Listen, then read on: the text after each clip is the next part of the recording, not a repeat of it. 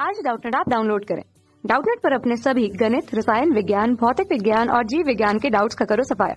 बस प्रश्न की फ़ोटो खींचो, एक ही प्रश्न को क्रॉप करो और तुरंत वीडियो सोल्यूशन पाओ। अभी डाउनलोड करें।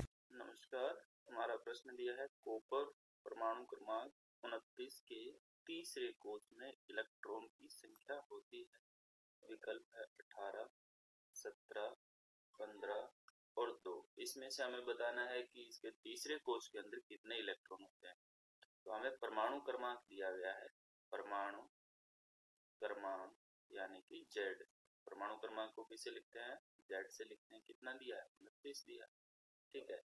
तो कॉपर में कॉपर में इलेक्ट्रॉन की संख्या बताते हैं। इलेक्ट्रॉन की संख्या किसके बराबर होती है? जेड के बराबर होती है। जितना परमाणु क्रमांक होता है, उतना ही उसमें इलेक्ट्रॉन होता है, ठीक है? चलिए, हम उनतीस इलेक्ट्रॉन के लिए विन्यास लिखते हैं। One s two two s two two p six, three s two, three p six, four s one और थ्री डी टेन होता है। समझ गए? ये एक अपवाद है। ये एक अपवाद है। होना क्या चाहिए था? होना चाहिए था four s two three d nine, लेकिन है four s one three d ten, क्योंकि यहाँ लिख देते हैं अर्धपूरित व पूर्ण पूरित विन्यास, पूर्ण पूरित विन्यास। अधिक स्थायी होते हैं, समझ गए ना? अधिक स्थायी होते हैं।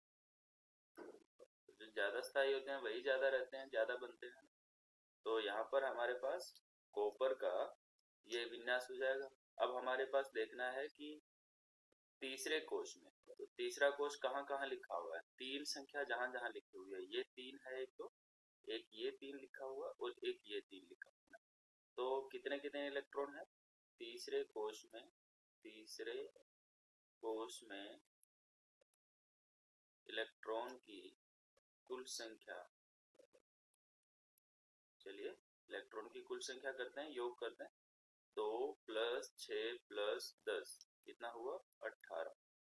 अठारह इलेक्ट्रॉन तो जहाँ पर भी हमारे पास अठारह इलेक्ट्रॉन हुए, वो विकल्प हमारा सही हो जाएगा। ठीक है ना?